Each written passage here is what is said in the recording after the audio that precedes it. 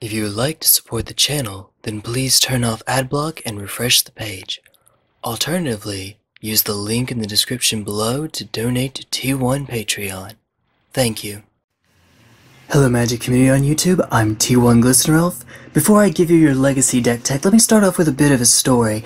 This playmat, as you can see up there, is from Grand Prix DC. That was a legacy Grand Prix.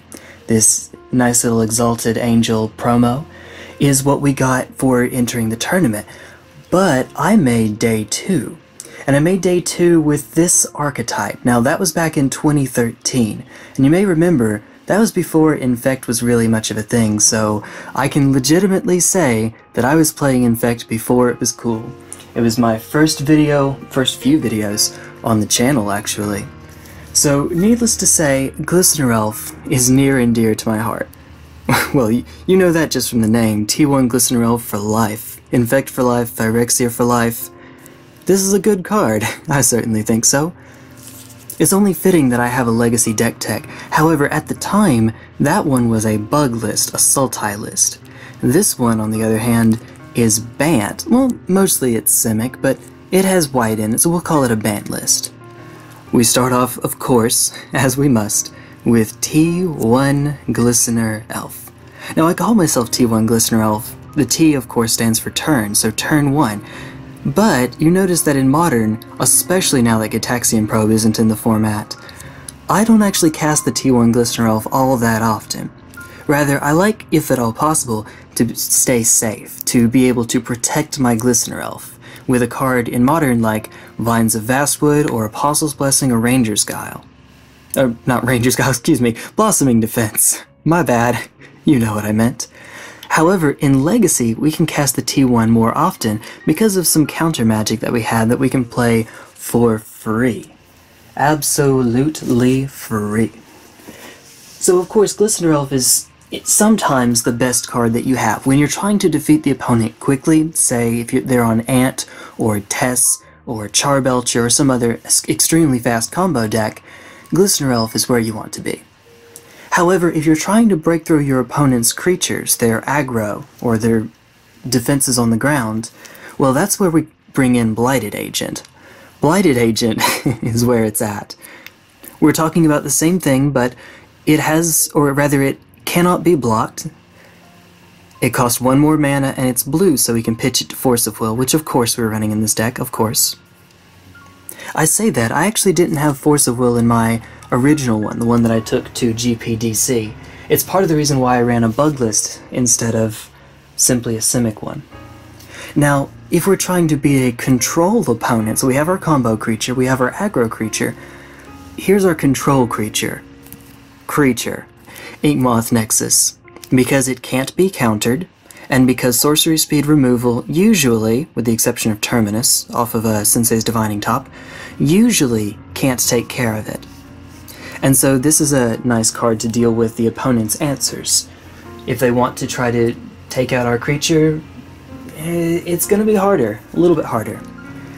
Now, of course, those win the game through Infect. This one is an enabler, I suppose. This is Noble Hierarch. If it just made mana, that wouldn't be enough. If it just had Exalted, that wouldn't be enough. But since it does both, it definitely makes the cut. This on offense could be a Deathrite Shaman, but unless we have some crazy boards, to, and granted I have one with regular damage with Noble Hierarch before. I think I've even done that on camera. It is certainly I'm actually sure, now I remember the instance, uh, having done that. Berserk can allow you to do some crazy things. So there we are. Winning with Noble. But usually, of course, it's just giving us extra mana to play our counter magic, our pump spells, animate Inkmoth more readily, etc., while making our creature more powerful passively.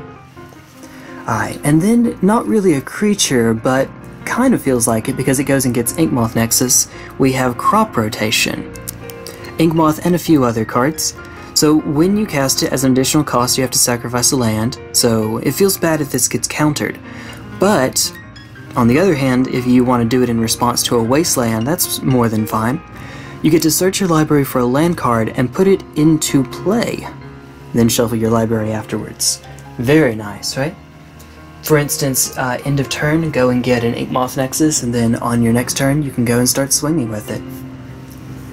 Now, we have some utility lands we can use, but for right now, just the fact that it gets Inkmoth is worth it. And perhaps if that were all that it did, I would run one, maybe zero, but it does a bit more, as you'll see in just a minute. Now, as for pump spells, we could run this as, say, a mono green list, and just try to play the biggest, the best pump spells.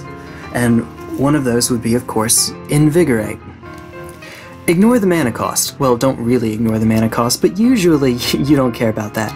If you control a forest, and of course we will, the vast majority of hands, rather than play Invigor pay, Invigorate's mana cost, you can have an opponent gain 3 completely irrelevant life.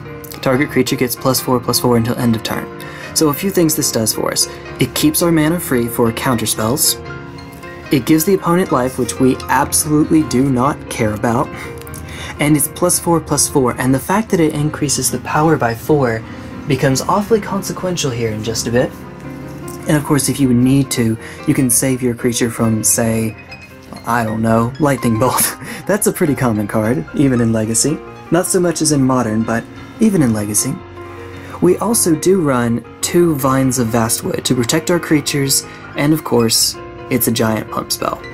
We could potentially run more, I wouldn't mind running three, and I even think I know the card I would take out to run the third. But I'll show you why I'm only running two in just a bit. But yes, Vines of Vastwood is a... it's a sick card. You play it in Modern and with good reason.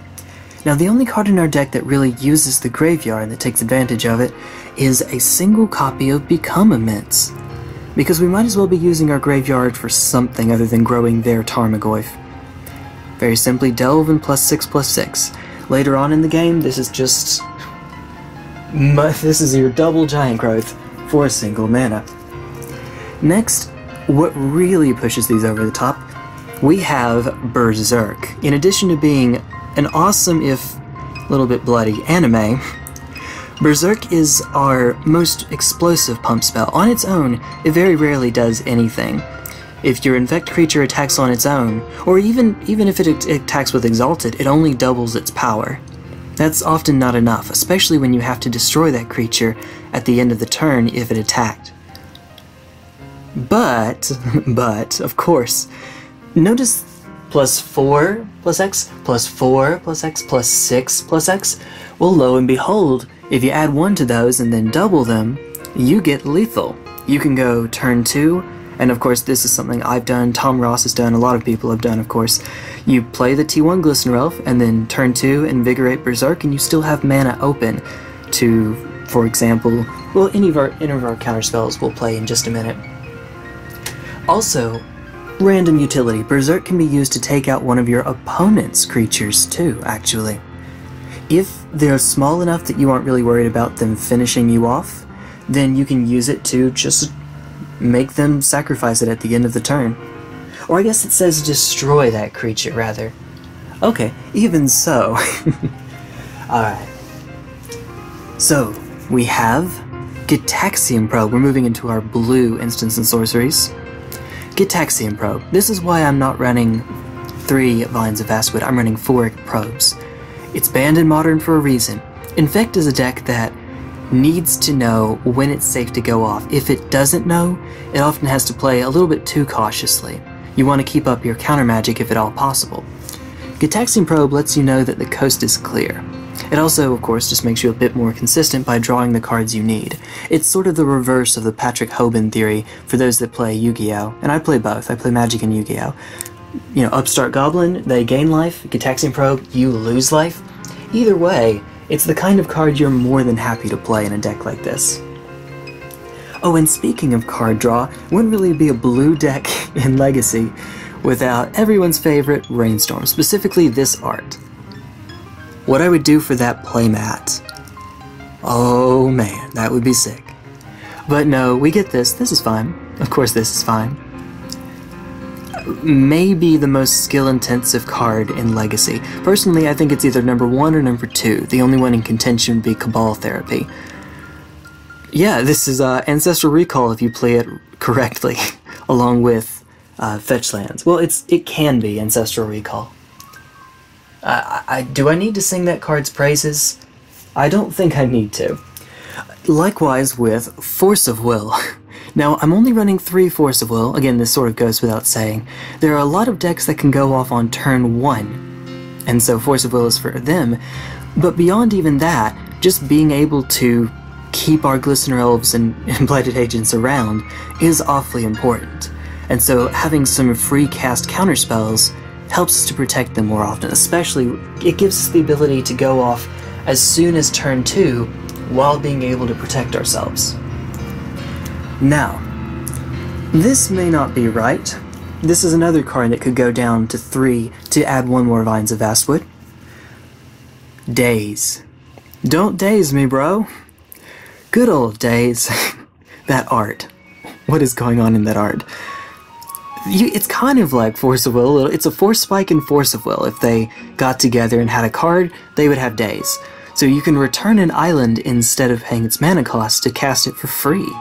And then, of course, Force Spike them. Again, just because we're Infect and we often can end the game awfully early, this can just simply be Force of Will. Except instead of pitching a blue card, we return a land.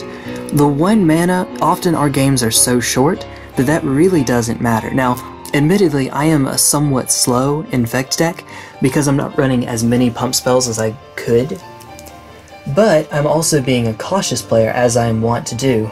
I'm, I'm an unusual Infect player like that, I suppose. I like being careful. And so, playing something like Daze gives me the ability to be hyper cautious. And next we have a one of Spell Pierce, just a little more utility. This is, again, same concept as Daze, except you, know, you have to pay a little bit more mana, but you can't play it for free. And it doesn't hit everything, but it's a necessary evil in a format like this. Next, Flusterstorm, mainboard Storm Hate, and most of the cards that'll be trying to take care of our Infect creatures will of course be instants, and a few sorceries, Toxic Deluge for instance. This gives us the ability to hate on those cards. And Storm makes it hard to counter back. It's often a counterspell that just wins counter wars. And next we have Stifle. This is a silly card.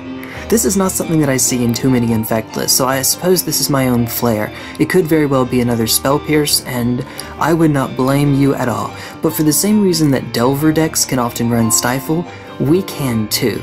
This gives us the ability to play a tempo game a little bit more readily. If we can get ahead on board, and especially if we don't have a turn 1 play otherwise, if we can get a little bit ahead on board, playing a 1 mana wasteland in blue is often where we want to be. Just get ahead and stay ahead. You may have noticed that so many Legacy decks run so few lands relative to, say, Modern or Standard, that one Stifle can be backbreaking, especially in a format like Legacy, where being able to shuffle your deck off a fetch land is what makes Brainstorm so good. If you couldn't play fetch lands, if you couldn't shuffle your deck, I don't know that Brainstorm would be better than Preordained, to be honest. Maybe, maybe. It gives you a bit more reach, but shuffling is really where it shines. And speaking of shuffling, we have, I'm running eight green fetches. It doesn't really matter which ones, I mean it kind of matters which ones you play. Ideally if you're running eight, you run two of each kind to play around Pithing Needle. However, you can also try to trick your opponent by playing more, say, Misty Rainforest to make them think that you have a one of basic island, which does sometimes happen. I don't think it's all that common though. It's perhaps better just to have an optimal list with just two of each. Or of course if you go up to 9, add one of your favorite, etc. Okay. Doesn't really matter which that is the point. I am running 3 Tropical Island, which admittedly is a reason why we could go down on a daze, having only 3 instead of the full 4. Perhaps it goes without saying, it's a forest for Invigorate, it's an island for Daze, it gives us both of our important colors in the main board. As you see, I haven't gotten anything white yet. But we do have a one of Savannah for some sideboard cards. Ideally, you don't show that to your opponent if you can help it in game one. Don't let them know that you have the ability to play those cards out of the sideboard.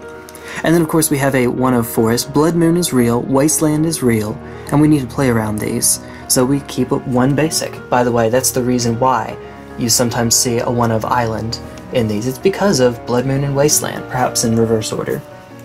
We have Pendelhaven. I'm sorry, it's the white border one. I have a promo one. I'm sorry, or I had a promo one. I don't have it anymore. I, I'm sorry. I am. Okay, so Chronicles Pendelhaven notwithstanding, it simply is excellent. It, it's a legendary and we only have it as a one of, so that's not an issue that I deal with in modern. We have the ability to go and get it with crop rotation if we need to. Doesn't come in tapped, makes green, that's fine. And of course, it's a pump spell that can't be countered, if you want to think of it as a pump spell. Sounds good by me. It's a nice little combat trick that I haven't gotten too too often, crop rotate for Pendelhaven and save your creature, but it's beautiful when it does go off. And then lastly for the main board, we have a 1 of Wasteland. Again, we can go and get it with crop rotation. If we just absolutely need to take out another land. For example, in the mirror, we can use it to hit another Inkmoth Nexus. Just first thing that comes to mind, I'm sure there are plenty more applications. And perhaps even more important ones. I'm sure more important ones. Maze of Ith comes to mind, the Tabernacle at Pendrell Vale for the lands deck.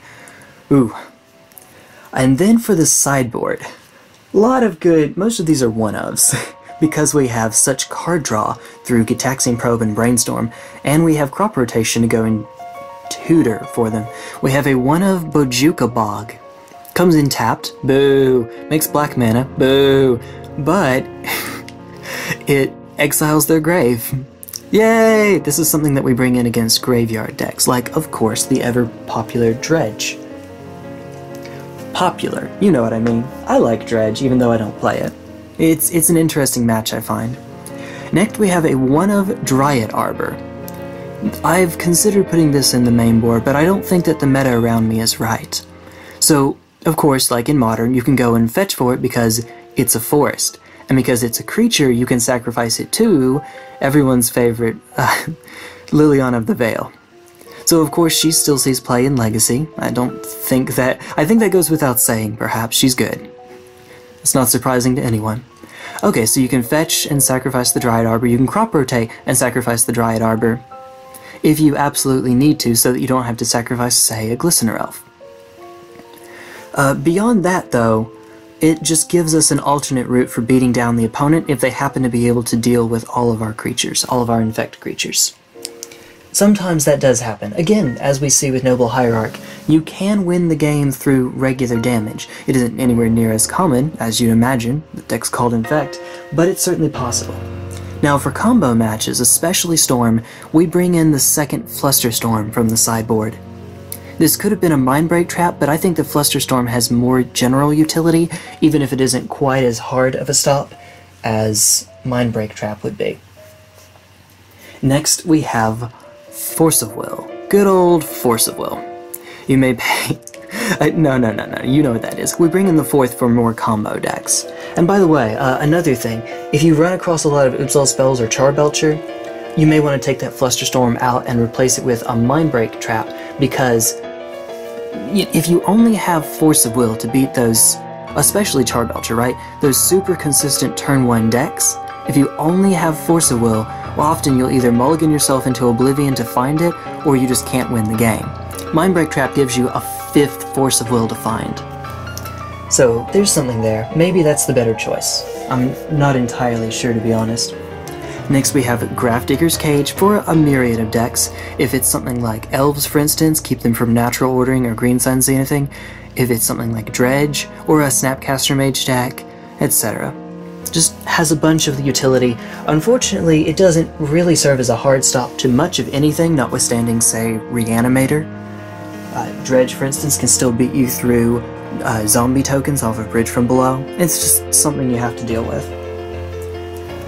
Thankfully, for those decks that aren't completely stopped by Grafdigger's Cage, you're still a fast deck. You can often still beat them before they have the chance to find the alternate or the slower win condition. Next we have Hydroblast. This is often for burn, or any deck that wants to try to remove our creatures with red damage like Lightning Bolt, but especially burn. Burn can be tough. If the burn player realizes that you're the beatdown and they're the control player, that becomes a much harder match. so next we have our one of Karakas to go and find with crop rotation for, for instance, Sneak and Show or Reanimator, those especially. This can be backbreaking if they play a show and tell and you have a Karakas. You've put them quite a bit behind. Less so for sneak attack, of course. And now we have two Krosan Grip. Yes, yes, I know, we could play Nature's Claim, which is of course what happens in Modern. Krosan Grip does not gain them life, which of course doesn't matter, and it is 3 mana. However, it has Split Second. So, for one thing, it dodges Chalice of the Void. I mean, no one's chalicing us for 3, unless they're that worried about Invigorate. No, realistically, no one chalices you for 3. Krosan Grip also can get by, like, for example, I used to run Abrupt Decay back when I was running a bug list. Part of the reason was for counterbalance. Krosan Grip serves the same role. It can't be countered, it actually stops the stack entirely, and it destroys an artifact or enchantment for the cost of one more mana, but you don't have to play black.